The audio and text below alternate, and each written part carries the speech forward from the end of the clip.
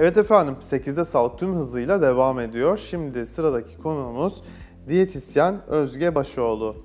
Hoş geldiniz programımıza. Hoş buldum. Hoş geldiniz. Nasılsınız? Ee, hoş buldum. İyiyim. Siz nasılsınız? Bizler de iyiyiz. Bizler de Teşekkür iyiyiz. ediyoruz. Çok mersi. Şimdi ben karşımda bir diyetisyen görünce e, çok fazla sorun var yine estetikte olduğu gibi bir estetikçi hocalarımıza çok sorular soruyorum. Bir de diyetisyenlere gerçi diş de var galiba biraz. Tabii. Ben sürekli soruyorum aslında. Şimdi Özge Hanımcığım, e, tabii pandemiden sonra özellikle e, hepimiz kilo aldık biraz daha evlere kapandığımız için. E, egzersiz yapamadık. Bir de tabii stres var işin içinde. E, bu stresten ötürü galiba kortizol hormonu salgılıyoruz Evet. ki kortizol bizim e, kilo vermemizi zaten engelliyor. E, evde yaptık, yedik, pişirdik, yedirdik. Günün sonunda ne oldu? Hepimiz böyle gerçekten birer ikişer beden kilo aldık. E, ve hepimizin dilinde bir ödem. Yani işte aslında ben kilo almadım, ödemim var. Aslında 2-3 kilo fazladan var ama bu ödem. Açıkçası bu ödem nedir? Bir sizden dinleyelim mi öncesinde? Ee, tabii ki öncelikle e, aslında haklılar. Gerçekten bir kilo olmayabilir, bu ödem olabilir. Ödem çok basit bir şekilde anlatacak olursam doku arasındaki sıvı fazlalığı. Ödem aslında çok e, basic düzeyde. Peki buna ne sebep oluyor? Bunlar çok önemli. Bizim yanlışlarımız neler? Bunlar çok önemli. Biz Türk milleti olarak tuz tüketimini çok severiz. Şekeri çok severiz. E, basit karbonhidrat çok fazla severiz. Paketli gıda çok severiz. Tatlılar, börekler çok Televizyon severiz. karşısında atıştırmayı severiz, cipsleri Evet, evet, evet. Popcornlar yemeyi severiz. Ee, bunların hepsi ödeme sebep. Eğer ki vücudumuzdan ödemi atmak istiyorsak, ödemsiz bir beden istiyorsak, daha fit bir beden istiyorsak e, yapmamız gereken bazı şeyler var. Bunlar e, minimum 3 litre su içmemiz gerekiyor. Yani 3 litrenin altına inmememiz gerekiyor eğer ki bir ödem şikayetimiz varsa. Onun dışında tuz tüketimi, şeker tüketimi, basit karbonhidrat tüketimi bunlardan kesinlikle uzaklaşmamız gerekiyor. Mesafeli durmamız gerekiyor. Ve iyi bir diyet süreci yönetmemiz gerekiyor. Ee, kişiler kendi başlarına bazen diyetler yapmaya çalışıyorlar. Çok popüler diyetler var. İşte Her pazartesi başlama. Evet, hı hı. Her salı günü E, sonra. evet kesin. Bazen pazartesi akşamını Pazartesi akşamı hatta. Hatta sonra evet yani ertesi günü bile bulmayabiliyor. Ee, bu süreci en iyi şekilde yönetebilecekleri bir hale e, bürünmeleri gerekiyor kişilerin. Bir de e, şunu söylemek istiyorum. Ödemi nasıl anlayabiliriz? Yani bu kilo mu ödem mi? Bunu nasıl anlayabiliriz? E, bunun da çok basit bir yöntemi var. Eğer ki ödemin olduğu yerden, yani mesela ben elimde ödem olduğundan şüpheleniyorum. E, bastırıp çektiğimde hemen doku yerine gelmiyorsa burada bir ödem var demektir. Ödem elde, bacaklarda, kolda, göbekte, yüzde çok fazla olur. Eğer ki bunu kendimiz anlayabilirsek, bir de bir uzmandan destek alırsak çok güzel oluyor sonuç. Tadından yanmaz. Zaten uzman desteği her yerde gerekiyor. Şimdi şöyle aslında e, matematik mantığında bakınca aldığın kaloriyi, verdiğin kaloriyi eşitlersen veya işte hani verdiğin kalori yani e, kilo kontrolü yapabilirsen kalorisel olarak ve egzersizli bir yaşam sürersen kilo vermen çok kolay. Ama bizler tabii öğrenilmiş çaresizlik içinde olduğumuz için özellikle böyle daha önceye varan tecrübeleri olanlar kilo ver al, kilo ver al. İşte burada diyetisyenlerin değil mi beslenme danışmanları daha çok devreye giriyor. Kesinlikle. Aslında siz verdiğiniz programın da dışında bir koçluk yapıyorsunuz. Kesinlikle. Yani orada kişilerin yönetilebilmesi lazım sonuca odaklanabilmek için diye düşünüyorum. Ee, çok haklısınız. Şimdi önceden şöyle düşünüyorlardı. Siz de dediniz az önce alınan kalori ve verilen kalori. Eğer daha fazla e, verirsek kilo veririz. Böyle bir şey yok artık. Yani e, çağ artık bunu kabul etti. Sizin stres düzeyiniz, mevsim geçişi, menstruasyon döngü e, işte gerileyebilir, ilerleyebilir. E, yani gün içindeki psikolojik durumumuz bile o kadar çok etkiliyor ki bizim kilo verme hızımızı. E, o artık alınan kalori, verilen kalori olayı maalesef devreden kalktı. Çünkü robot değiliz. Yani e, keşke şöyle bir şey olsaydı. Ben 1000 kalori aldım, 2000 kalori yaktım. Hadi bakalım 1000 kalori gitsin. Maalesef olmuyor. Sadece 1 e, kilo verebilmek için 7000 kalori yakmamız gerekiyor. Değil mi? Ve 1 saat yüzmek eğer ki 70 kilo bir insan olarak baktığımız zaman 500 kalori ediyor sadece.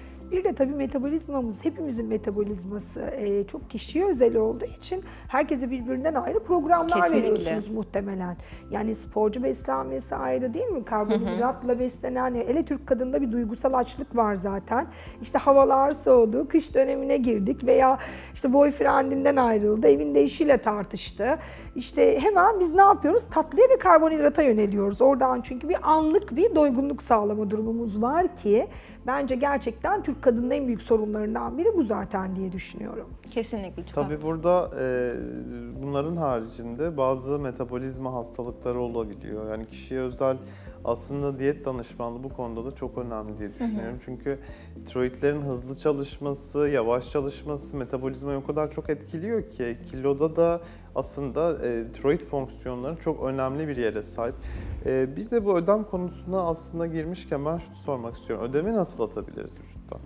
Ee, çok güzel bir soru. Teşekkür ederim soru için. Ödemi e, biz çok hareketsiz bir millet olduk pandemi sebebiyle. Öncelikle hareket edeceğiz. Aynı pozisyonda uzun süre hareketsiz kalmayacağız. Yani oturduğumuz yerde bile yarım saatten uzun süre oturmamamız gerekiyor. Çünkü eğer ki kan akış hızı artmazsa maalesef o sıvı birikimi doku arasında kalıyor ve ödem kesinlikle gitmiyor. Ee, sonrasında e, detoks programları var. 3 günlük, Ay 5 çok günlük, severim ben. 7 zaman günlük. zaman mutlaka balans yapmak için uyguluyorum Ee, detoksları. evet biz de veriyoruz ama bunu bir aylık yaptıramıyoruz. Gerek de kalmıyor zaten. Böyle disiplin gerektiren 3 gün, 5 gün, maksimum 7 gün süren programlar var. Bunları uygulayabilirler. Ee, bence kesinlikle bir diyetisyenden yardım almalılar. Ve bizim mucizevi besinlerimiz var. Evet.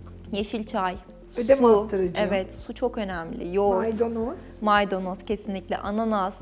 Ee, bunlar kiraz sapı? Kesinlikle ve ödem çayları var. Bunlardan yardım alabilirler. Ee, bazı ödem çaylarında e, her madde belirli oranda katılıyor ve maksimum verimde ödem atımınız sağlanıyor. Ama burada su tüketimi çok önemli. Biz siyah çay içmeyi çok seven bir milletiz. Kahve tüketimimiz çok fazla. Türk kahvesini double içmeyi çok severiz. Ee, olabildiğince kremalı e, tüketiriz dışarıdan kahve tüketeceksek. Ee, burada da eğer ki siyah çay tüketimi çok fazlaysa bunu azaltıp yeşil çayı arttırabiliriz. İçtiğimiz siyah çay miktarı kadar mümkünse bunun bir buçuk katı kadar su tüketimine dikkat etmemiz gerekiyor. Ve yoğurt çok kurtarıcı. Yani biz detoks programlarına yoğurt, salatalık, kabak bunlardan çok e, destek alıyoruz. Şimdi tabii detoks programlarına gelince ben bu işin biraz fanıyım. Ee, çok fazla detoks programına gittim. Hem yurt dışında hem de Türkiye'de. Yani daha Türkiye'de yokken bile detoks programları için yurt dışına çıktım.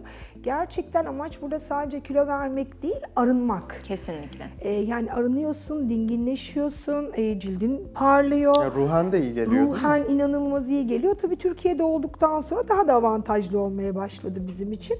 Ee, ben mesela zaman zaman hayatımda çok kullanıyorum. Artık yoğun tempomdan ötürü öyle bir kampa gidemesem de işte demin de sizin söz ettiğiniz gibi e, bu detoks içeceklerinden evime sipariş ediyorum ve bir haftayı 10 günü böyle geçiriyorum.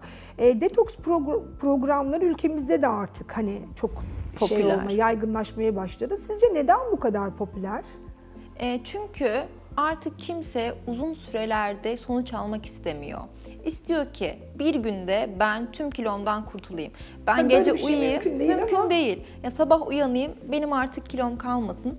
Bir de şöyle bir durum var. Bu mide şişkinliği, bağırsak şişkinliği çok büyük bir sıkıntı. Otururken, yatarken, ya uykusuzluk bile çekebiliyoruz e, bu sebepten ötürü ve diğer organları da sıkıştırıyor aynı zamanda. Detoks programları burada bize çok yardımcı oluyor. Çünkü 3 günde iç 3 kilo, 4 kilo gidebiliyor vücuttan. Bu Ama da çok büyük bir giden, değişim. Hani ekran başındaki izleyicilerimiz için de bir altını çizelim mi?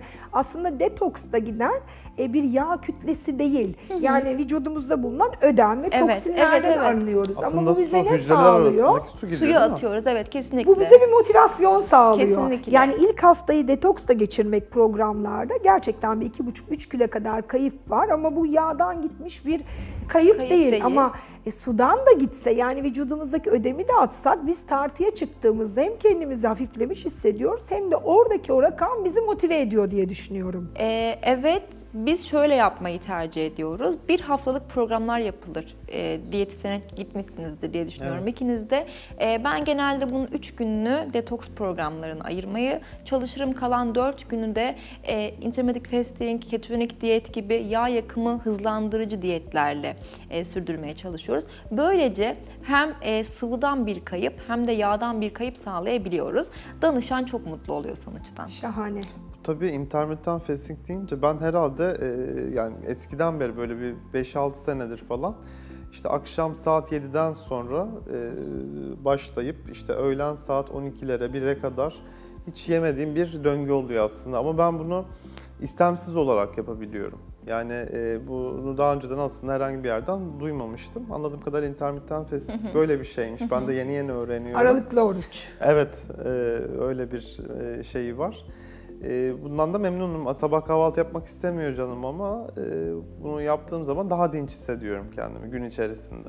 Ee, önceden yine şöyle bir inanış vardı. Kesinlikle kahvaltı etmek zorundasınız. Kahvaltısız diyet olmaz. Sabah 8'de uyanacaksın, o alarm kurulacak, 9'da kahvaltını yapacaksın. Bunlar artık çok eskide kaldı. Diyetler kişiye özel hazırlanmalı. Eğer ki siz o saatte uyanamıyorsanız uyanmayın. Ee, o zaman aralıklı oruç sizin için çok daha mantıklı bir seçenek olabilir. Uyandığınız saate, çalışma saatlerinize göre ayarlamak diyeti e, çok daha mantıklı, Mantıklı ve oluyor. akıllıca. Evet Özge Hanım, verdiğiniz değerli bilgiler için çok teşekkür ediyoruz. Ayaklarınıza sağlık. Çok teşekkür ederiz. Ben teşekkür ederim. Sizleri tekrar programımıza bekliyoruz. İnşallah. Evet efendim. Bugün 8'de Sağlık programının konuğu diyetisyen Özge Başoğlu'yla birlikteydik. Bizlere ödemden bahsetti. Ödem atıcı besinler, detoks programları ve kilo vermenin önündeki engellerden konuştuk. Kendisine verdiği değerli bilgilerden dolayı çok teşekkür ediyoruz. 8'de Sağlık tüm hızıyla devam ediyor. 8'de kalın, sağlıkla kalın.